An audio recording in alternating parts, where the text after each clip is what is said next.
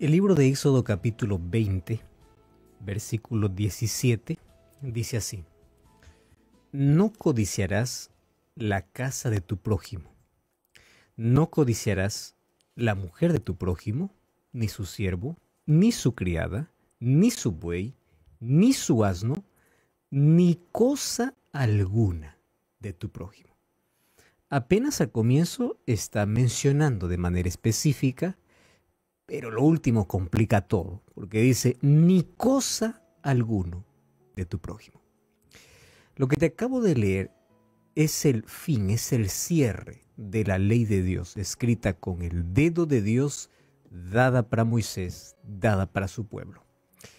Éxodo 20:17, entonces la ley de Dios culmina diciendo, no codicies.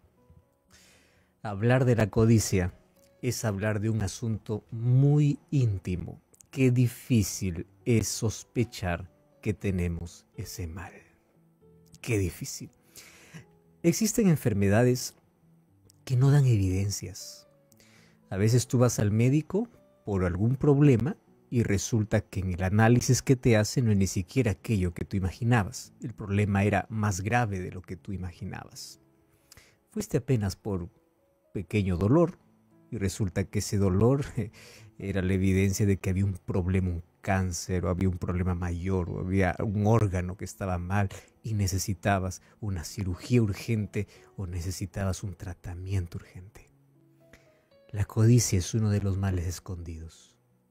Nadie anda diciendo soy codicioso, nadie anda diciendo él es codicioso, como que la codicia se ha convertido en un mini pecado, en un pecado que se puede acariciar, en un asunto no peligroso. Pero la codicia ha llevado siempre a la ruina.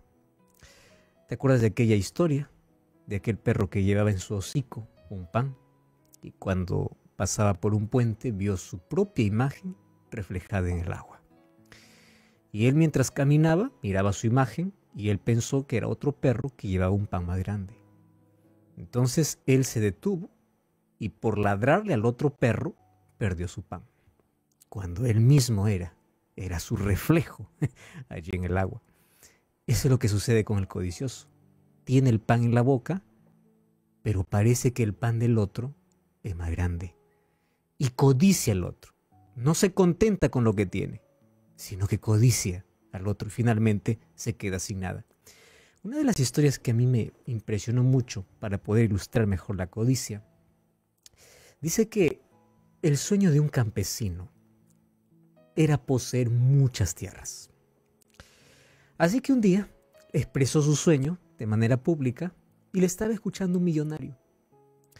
Y este hombre millonario le dice, mira, yo voy a cumplir tu sueño yo te voy a dar toda la tierra que tú quieras. Los ojos del campesino brillaron y dijo, wow, este es mi sueño cumplido. Lo aceptó inmediatamente. Le dice solo que hay una condición. ¿Cuál es la condición? Levantó allí un pequeño montículo de tierra y encima colocó un palo. Y allí encima su, el gorro del, del dueño, del millonario. Y le dice, la condición es la siguiente. A partir de aquí, tú vas a caminar y caminar y caminar y caminar hasta la tierra que tú quieras poseer. Cuando digas hasta aquí quiero, a partir de allí vas a volver. Pero la condición es la siguiente. Camina hasta donde quieras y tienes que volver a este montículo de tierra donde está mi gorro antes de la puesta del sol. Si eso tú lo cumples, entonces toda la tierra que tú has caminado te pertenecerá. Pero la condición es, sales de aquí y aquí vas a volver. ¿Correcto? El campesino ilusionado comenzó su viaje deslumbrado y comenzó a caminar. Dijo, ya es suficiente. Ah, pero de pronto vio que lo que seguía era una tierra muy buena para sembrar maíz. No, voy a seguir caminando. Y continuó caminando. Dijo, ¿hasta aquí es suficiente? No, no es suficiente. Vio ahí que había un pedazo para poder cultivar papa y el otro para poder cultivar arroz. Y continuaba y continuaba y continuaba, imaginándose con todo lo que tenía y seguía caminando cuando vio que el sol ya estaba eh, declinando, el día estaba terminando y él continuaba corriendo porque quería más y más y más tierra. Y bueno, cuando el sol ya estaba a punto de, de ocultarse, él se acordó que tenía que volver al punto inicial. Y el punto inicial estaba tan distante. Así que dijo, yo no me puedo perder eso. En ese momento comenzó a correr y correr y correr y correr y correr.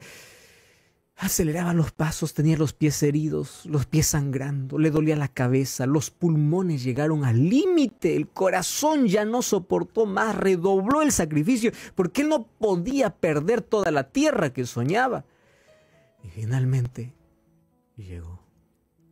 Llegó tan exhausto cerca de aquel gorro, extendió la mano cuando el sol se puso, pero por el demasiado esfuerzo que hizo, murió. O sea, todo lo que recurrió en un día no fue para él. Finalmente la historia culmina diciendo, todo lo que el ser humano necesita en la vida son dos metros de tierra para ser enterrado. todo lo demás se puede perder y puede ser para otro. ¡Qué infelicidad! La codicia lo llevó a querer más y más y más y más. ¿Disfrutó algo? Nada. ¿Sabes por qué? Porque sus ambiciones eran mayor que sus necesidades.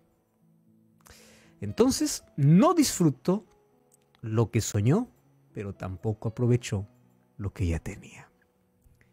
¿Qué es codicia? Codicia es ese deseo desmedido de tener más sin límites. No tiene límites porque está en la mente, está en la, imaginación. Los deseos son ilimitados.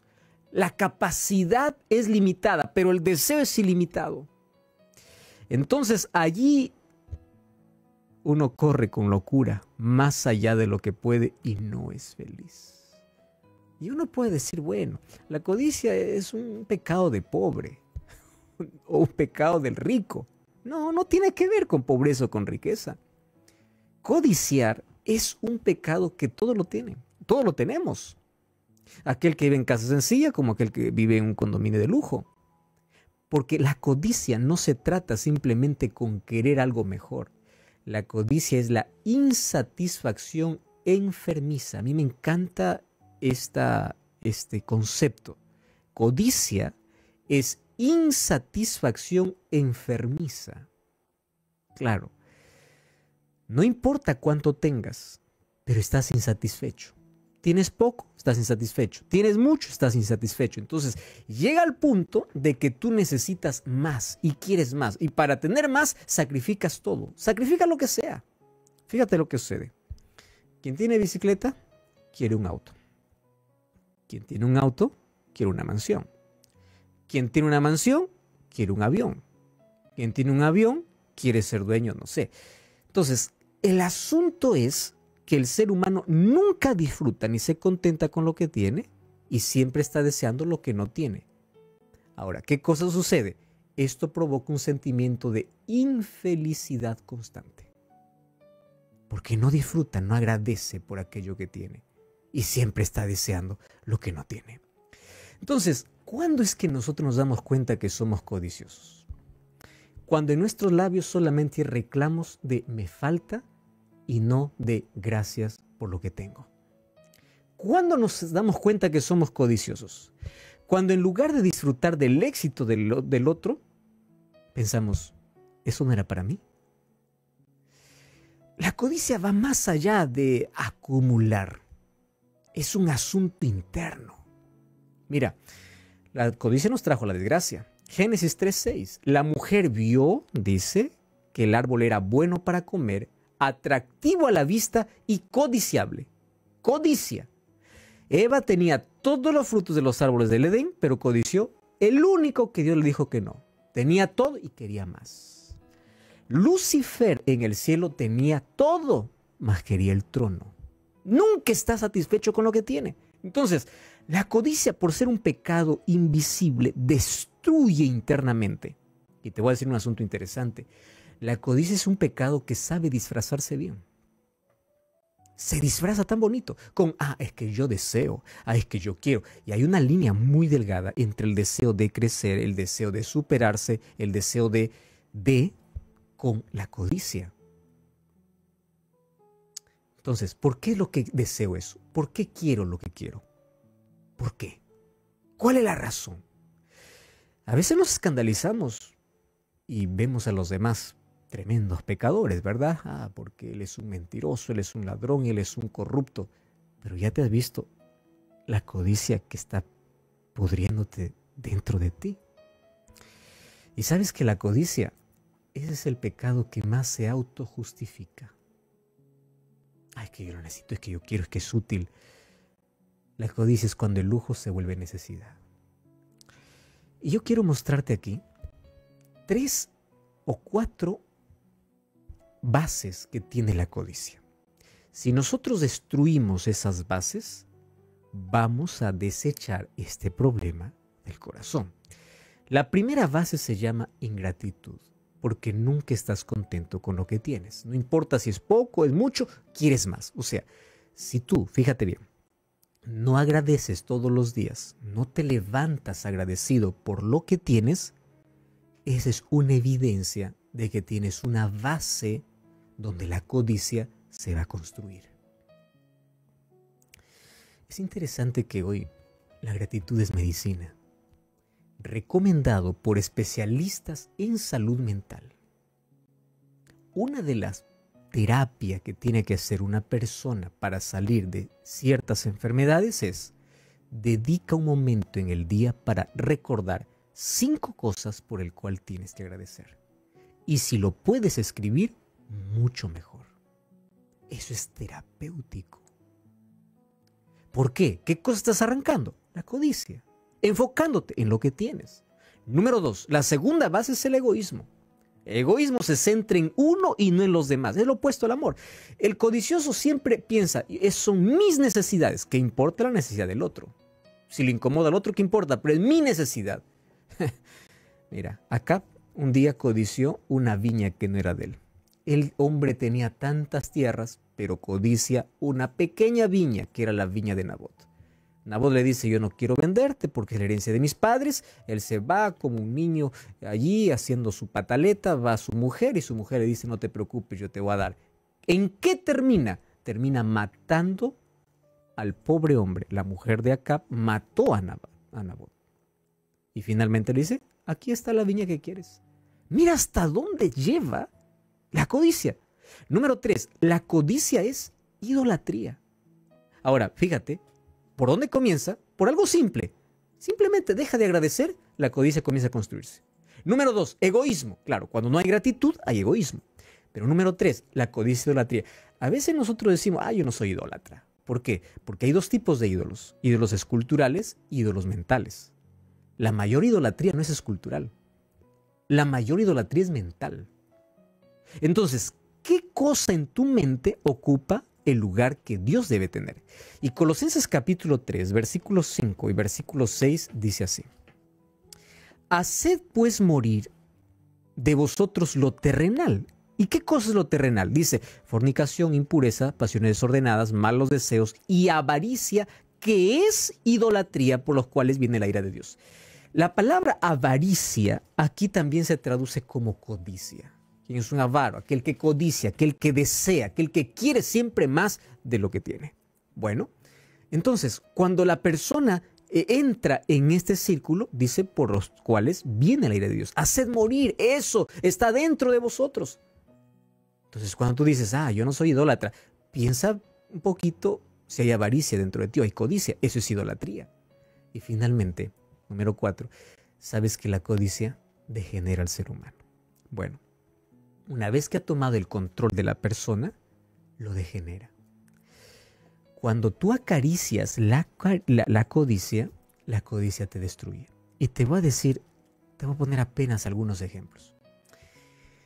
David codició a Betsabé. ¿Cuántas mujeres tenía? Muchas mujeres. Codició la mujer de Urias, que tenía una, la única. ¿A dónde le llevó la codicia? A matar al marido de ella. Jacob codició el derecho de su hermano y le incitó a despreciar su derecho. Se aprovechó del momento y por un plato de lentejas quiso obtener la bendición. Codició. Número 3. Los hijos de Jacob codiciaron el amor del padre por José. ¿A dónde lo llevaron? A vender a su propio hermano. ¿Sabes que la codicia es tan peligrosa? Y mira el consejo de Salomón en Proverbios capítulo 1, versículo 19. En sí es bueno leer todo el capítulo, pero voy apenas a leer la conclusión de, de todo ese texto. El versículo 19 del capítulo 1 de Proverbios dice así. Tales son las sendas de todo el que es dado a la codicia. Pero ¿cuál es la senda?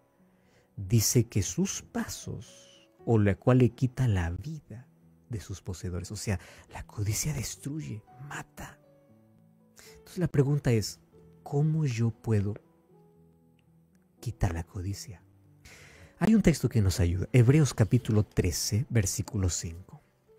Hebreos 13, 5 dice así, sean vuestras costumbres sin avaricia, contentos con lo que tenéis, porque Él dijo, no te desampararé ni te dejaré. Me encanta. ¿Qué cosa es codiciar? Codiciar es dudar de la capacidad que Dios tiene para sustentarnos. Codiciar es dudar de Dios, de lo que Él nos puede dar. ¿Y cuál es el remedio? Tres remedios. Si tú no tomas esto, esto va a avanzar. Pero si tú lo tomas, esto se va a curar. Número uno, gratitud. Aprende a agradecer. Una persona agradecida entiende qué es lo que realmente es importante y es feliz con lo que tiene, con lo poco, con lo mucho. Quien no es feliz con lo poco, tampoco será con lo mucho. Hay una frase que hace algún tiempo me llevó a una reflexión muy profunda y decía así, si mañana tú amanecieras solo con las cosas por el cual agradeciste hoy, ¿qué te faltaría? Y eso me llevó a pensar que nosotros cada día despertamos pensando que todo lo que tenemos es un derecho. Nunca agradecemos por el sol, por la lluvia, por el aire, por la vida, por el techo, por la familia, por el trabajo. No. Ahora, si mañana amaneciera solo con lo que agradeciste hoy, ¿qué cosa te faltaría? Cuán importante la gratitud. El apóstol Pablo dice en Filipenses 4, 11 al 13, aprendí a contentarme cual sea mi situación. Aprendí a vivir en la escasez y en la abundancia. Todo lo puede en Cristo que me fortalece. Él aprendió. Número 2 generosidad. 1 Timoteo 6, 18 y 19 dice, sean ricos en buenas obras, dadivosos. Tú sabes que retener sin compartir nos llena por fuera, pero nos deja vacíos por dentro. Y un corazón vacío nunca es feliz. ¿Tú quieres experimentar hoy alegría inmediata? Comparte, da, atiende una necesidad. A las personas que están con depresión, una de las cosas que se les pide hacer es que visiten personas que están afligidas y les puedan ayudar. Pero yo necesito ayuda. Resulta que cuando tú ayudas al otro, tú terminas siendo ayudado. Y finalmente la fe. Confiar que Dios nos dará cuando Él quiere. Eso no significa que vas a dejar de trabajar, de esforzarte, de soñar. No. Significa que vas a aprender a ser feliz con la bendición que hoy tienes. Puesto que la codicia es un pecado que radica en el corazón, el único remedio es Cristo porque solo Él puede entrar allí para poder limpiarnos. Y solo cuando hacemos de Cristo el Señor de nuestras vidas, la codicia sale huyendo. ¿Quieres entonces sacar a eso de tu vida? Permite que Cristo esté allí. Eso es lo que el apóstol Pablo decía, morir al pecado para vivir para Cristo. Una de las cosas más peligrosas que guardamos en el corazón es la codicia. Mas hay solución. Sé agradecido, sé generoso y ten fe. Permite que Dios sea el Señor de tu vida. Cuando haces eso, Dios te mostrará, te abrirá los ojos, como cuando te tomas una tomografía, una radiografía y dices, ese es el problema, mas dame la solución. Y la solución es Cristo. ¿Quieres que Dios pueda arrancar de tu corazón la codicia? Vamos a orar. Gracias Señor por tu palabra. En ella nosotros podemos encontrar no solamente el problema, sino también la solución. Reconociendo que nuestra solución eres tú. abrimos nuestro corazón de par en par. Queremos que nos puedas limpiar de todo mal, que puedas arrancar de aquellos pecados ocultos, aquellas cosas que nadie conoce, pero los tenemos tan acariciados y tan abrigados. Queremos que tú nos ayudes. Ayúdanos a vivir gratos, contentos, con todas las bendiciones que nos das. Toma nuestra vida en tus manos. Sé el Señor y Rey de nuestra vida. En el nombre de Jesús te pedimos. Amén.